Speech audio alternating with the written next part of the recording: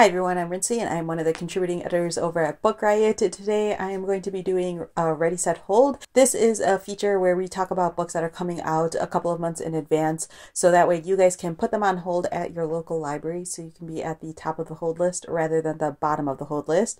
Uh, today I'm talking about books that are coming out in March and I'm cutting this one a little bit close mostly because I forgot to do it last month. My bad, you guys. But there's still plenty of time left until these books come out, so you'll still probably be at the top of the hold list if you put these books on hold today. So the first book that I have is Gingerbread by Helen Oyeyemi. This one is coming out on March 5th. So this is a new novel from Helen Oyeyemi and is sort of playing on the importance that gingerbread plays in a lot of fairy tales. So in this book, you are following this woman named Harriet Lee and her daughter Perdita, and they may seem like an ordinary British family, but there are a lot of sort of signals that they may not be as normal as everyone else. One of those signals is the gingerbread that they make. It may not be very popular with Londoners, but it is popular in the faraway land of Druhástrana. In fact, the truest lover of the Lee family gingerbread is Harriet's childhood friend Gretel, someone who has had a hand in everything good or bad that has happened in Harriet's life since they met. So this sounds like one of those books that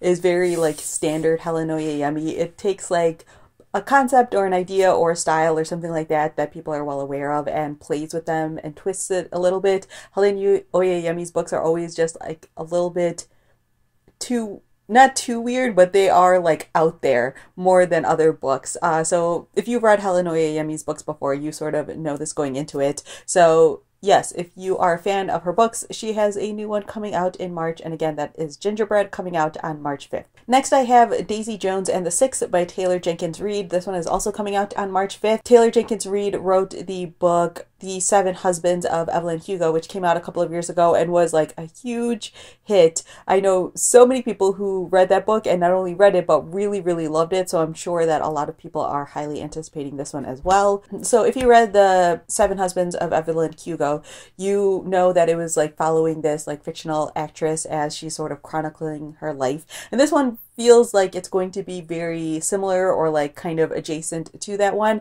You are following sort of the history of this band called Daisy Jones and the Six, and this book is actually written as an oral history, which I think is really interesting. This story follows this band that's considered one of the biggest rock bands of the 70s and just follows them from the 60s, following both Daisy as well as the rest of the band as they sort of come up in the music scene and join together and form this big band. But Taylor Jenkins Reid always does a really good job of making it more than what it originally seems like it's going to be about with the plot. So, again, if you were a fan of Taylor Jenkins Reid's previous books, Daisy Jones and the Six is also coming out on March 5th. Also, coming out on March 5th is The Island of Sea Women by Lisa See. This is a new historical fiction book from Lisa See, which is following two girls who are living on the Korean island of Jeju. So, you are following these two girls who are best friends but come from from very different backgrounds, and they both end up joining the all female diving collective on the island. This is a story that also takes place over a number of decades, starting in like the 1930s and 40s,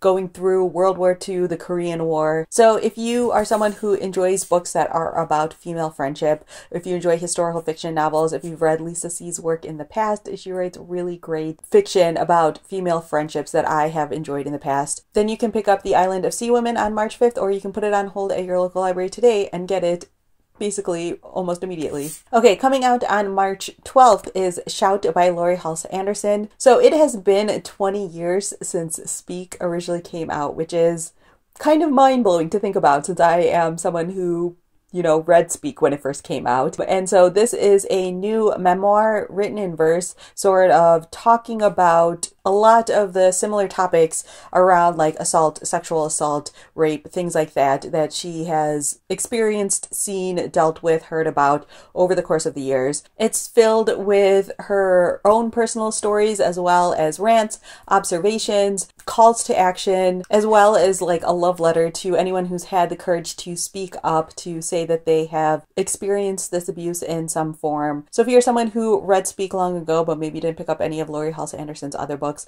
but are continuing to be interested in staying aware of the sort of topics and ideas around assault, sexual assault, the Me Too movement, all of that stuff, then Shout by Laurie Halse Anderson would also be a really great one to pick up. Okay, and the final book that I have to talk about is The Bird King by G. Willow Wilson. This one is also coming out on March 12th. So this is a historical fantasy story written by G. Willow Wilson that is set in the late 1400s, and it's being described as an epic journey set during the reign of the last sultan of the Iberian Peninsula at the height of the Spanish Inquisition. You are following these two characters. One of them is Fatima, who is a concubine to the sultan. The other one is her friend Hassan, who is a map maker who can create maps that open up basically like passages to another world. And so Fatima actually runs away with him and a jinn. And so this is a story that looks at love and friendship and what is the price of freedom. So if you've read G. Willow Wilson in the past, whether it's through